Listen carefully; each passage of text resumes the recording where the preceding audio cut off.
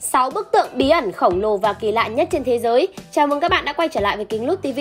Các bạn thân mến, ngày nay thật không khó để chúng ta bắt gặp những bức tượng siêu to khổng lồ thể hiện sự sáng tạo vô biên của con người. Nhưng liệu các bạn có biết thực hư về bức tượng khổng lồ, biết cử động và dưới nước mắt có điều gì đặc biệt? Tại sao 800 bức tượng đá được điều khắc hết sức kỳ công lại đột nhiên bị bỏ hoang không lý do? Hay đâu là những bức tượng phá vỡ mọi định luật của vật lý khiến ai nhìn vào cũng phải kinh ngạc vì không tin là chúng tồn tại. Cùng với đó là vô vàn những bí ẩn ly kỳ xoay quanh những bức tượng kỳ lạ và to lớn trên khắp thế giới.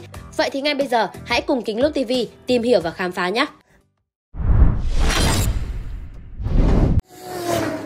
Đầu tiên chúng ta hãy cùng tìm hiểu những bức tượng Phật đẹp nhất trên thế giới. Các bạn thân mến, nhắc tới những bức tượng Phật đẹp và nổi tiếng nhất thế giới, chắc chắn là không thể bỏ qua tượng Phật nằm khổng lồ ở đền Wat của Thái Lan với chiều dài ấn tượng lên tới 46 m và chiều cao là 15 m, giúp nó trở thành pho tượng Phật rát vàng lớn nhất châu Á. Đặc biệt, hai lòng bàn chân của Phật còn được khảm ngọc một cách tinh tế, mô tả 108 vị tướng tốt của Phật Thích Ca Mâu Ni nữa đấy.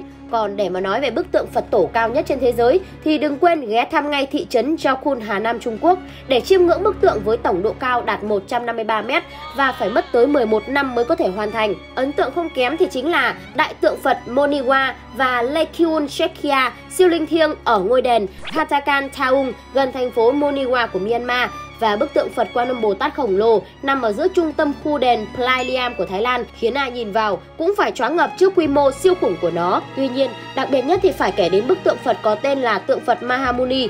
Đây là một trong những bức tượng linh thiêng nhất của Myanmar với chiều cao 3,8 m và nặng gần 6 tấn, cùng với bề mặt tượng rất thô và gồ ghề như da cóc, được rát rất nhiều lá vàng. Vì vậy mà người dân thường gọi là tượng Phật cóc vàng. Tuy nhiên, vào năm 1784, người Miến dưới sự lãnh đạo quân sự của Thái tử Thado Minshaw, triều đại Konbaung đã chinh phục vương quốc này. Các di tích tôn giáo của vương quốc, bao gồm tượng Phật Mahamuni, đã bị cướp đoạt và mang đến chùa Mahamuni hoặc chùa Amarapura, ngoại ô cố đô Mandalay.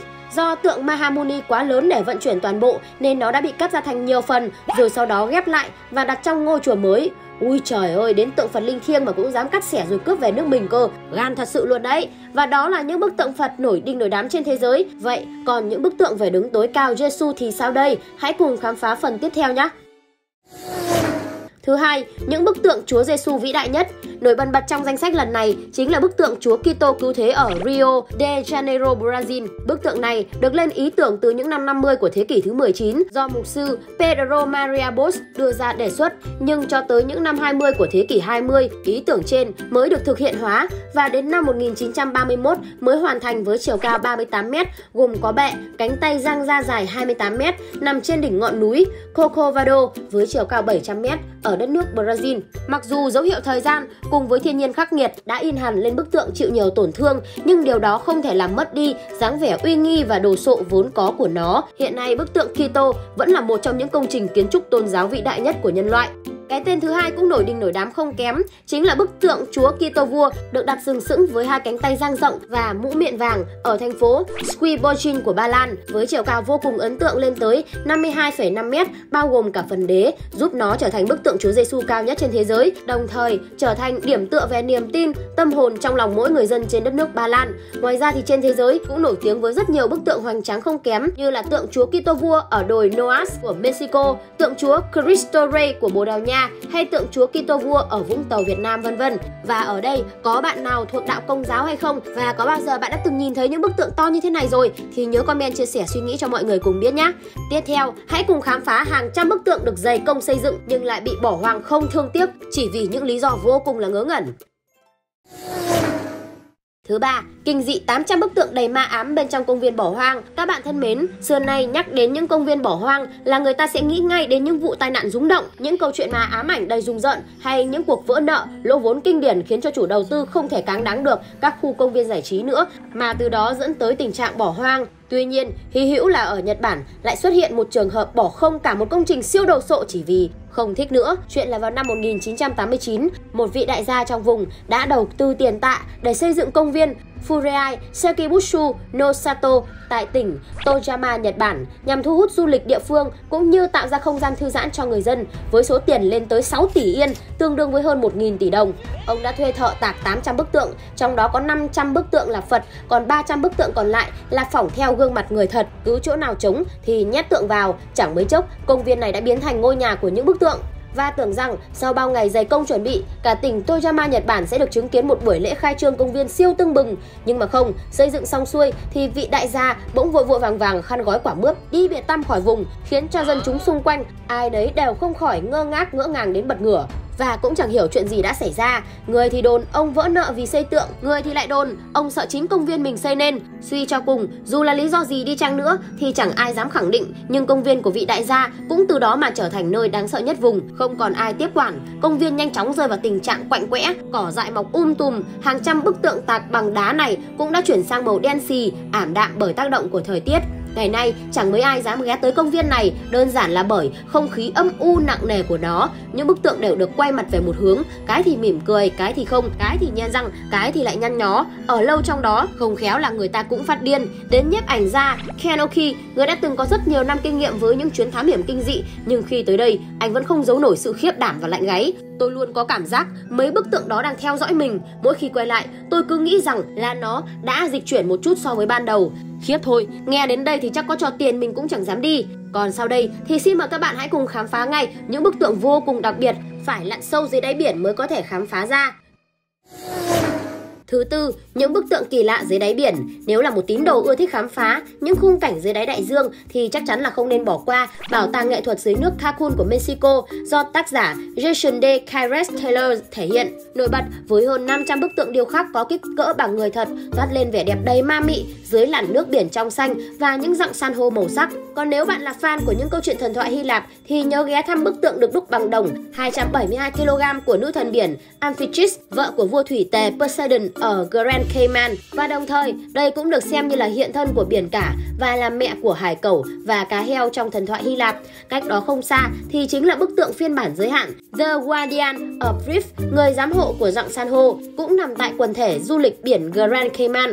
Đây là tác phẩm điêu khắc nổi tiếng do Simon Morris tạo dựng nhằm truyền tải thông điệp nâng cao ý thức bảo vệ môi trường cho tất cả mọi người. Và hiện nay trên thế giới chỉ có đúng 4 pho tượng như thế này. Tượng được làm hoàn toàn bằng đồng, được đánh số, ký tên và có ghi ngày tháng rõ ràng bởi nhà điêu khắc. Bên cạnh đó thì trên thế giới còn nổi tiếng với rất nhiều những tác phẩm độc lạ dưới đáy biển như là bức tượng Chúa Giêsu khổng lồ nằm ở ngoài khơi bờ biển phía tây Italy được chế tạo vào năm 1954 bởi nhà điêu khắc Guido Galesti. Tượng có chiều cao khoảng 2,4 mét và được đặt ở độ sâu 17 mét so với mặt nước. Đây được xem là món quà tinh thần mà tác giả dành để tưởng niệm một đồng nghiệp bị thiệt mạng khi lặn sâu trong khu vực này. Còn đây, vòng tròn 26 bức tượng người nắm tay nhau nhìn về phía trước mang ý nghĩa cộng đồng cùng nhau bảo vệ môi trường tại công viên điêu khắc dưới nước tại vịnh Morin, Grenada, Caribe, nơi từng được National Geographic vinh danh một trong 25 kỳ quan đẹp nhất trên thế giới. Và các bạn cảm thấy ấn tượng nhất với bức tượng nào kể trên thì hãy chia sẻ cảm nhận xuống phần bình luận nhé. Và tiếp theo là những bức tượng siêu ảo ma Canada mà bạn không tin vào mắt mình luôn.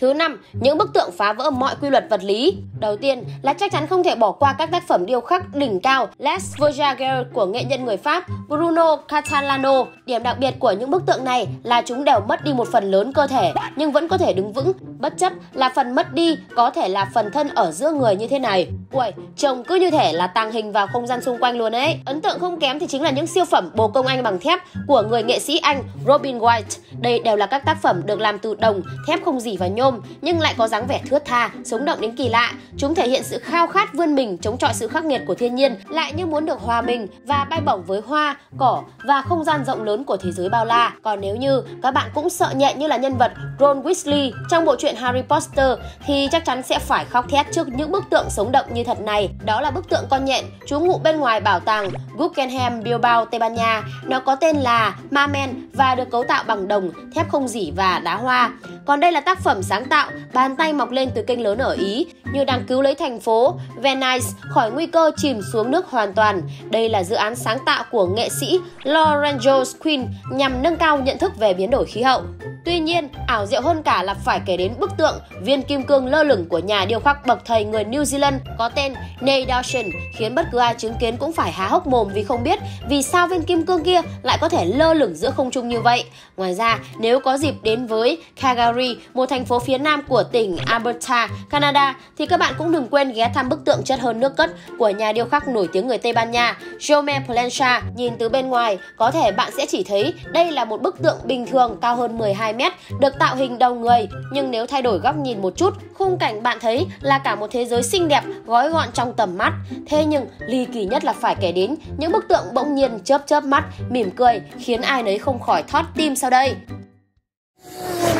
Thứ sáu, những bức tượng đột nhiên cử động đầy hãi hùng. Uầy, chuyện nghe cứ tưởng hư cấu này lại hoàn toàn là có thật và được hẳn camera ghi lại luôn. Điển hình như bức tượng Nepsanu tọa lạc tại bảo tàng Manchester của Anh đã khiến cho những nhân viên an ninh ở đây được một pha khiếp vía khi có thể xoay mặt hướng vào trong mà không có bất kỳ tác động nào từ bên ngoài. Không những thế, điều khiến cho người ta khiếp sợ hơn là bức tượng có tuổi thọ lên tới cả vài nghìn năm, được cho là đem theo lời nguyền cổ xưa của các vị vua Ai Cập cổ đại để đến nước Anh đấy các bạn ạ. Tương tự thì nhà thờ Santilo của bang Coahuila de Jagarogo, Mexico cũng từng khiến bao người xôn xao khi một camera ghi lại được cảnh tượng bức Chúa Giêsu bỗng nhiên mở mắt trừng trừng nhìn mọi người rồi đột nhiên nhắm mắt lại.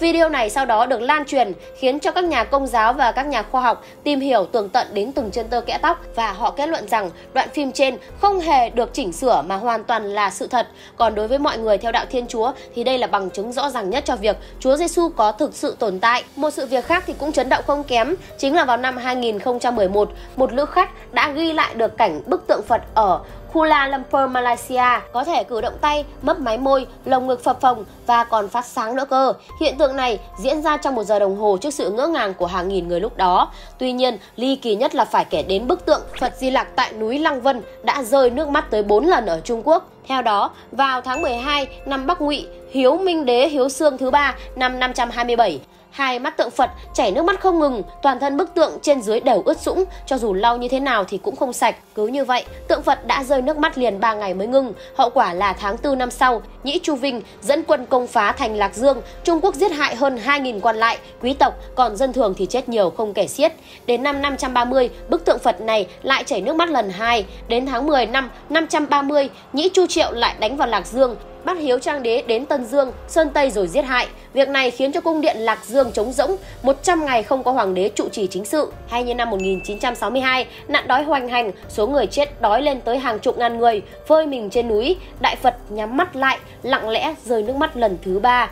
Vào năm 1976, người ta lại chứng kiến Lạc Sơn Đại Phật rơi nước mắt. Khi đó, ở Đường Sơn xảy ra một trận động đất kinh hoàng, cướp đi sinh mạng của rất nhiều người, ước chừng con số lên tới 242.000 người. Phải chăng hiện tượng Phật rơi lệ chính là thể hiện sự xót thương của Phật khi nhìn con dân lầm than, cuồn cuộn trong nghiệp lực mà không thể nào thay đổi. Còn các bạn thì sao? Bạn nghĩ như thế nào về những cảnh tượng lạ lùng này? Đừng quên comment dưới phần bình luận nha! Các bạn thân mến, vừa rồi chúng ta đã cùng nhau tìm hiểu và khám phá về rất nhiều những vô cùng kỳ lạ, bí ẩn và không kém phần bất ngờ. Và các bạn cảm thấy bất ngờ, ấn tượng nhất kể trên, hãy để lại comment, chia sẻ và bày tỏ quan điểm suy nghĩ của các bạn cho mình biết nhé.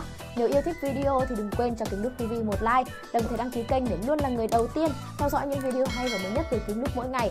Cảm ơn các bạn đã đón xem video. Còn bây giờ thì xin chào và hẹn gặp lại trong những chương trình lần sau.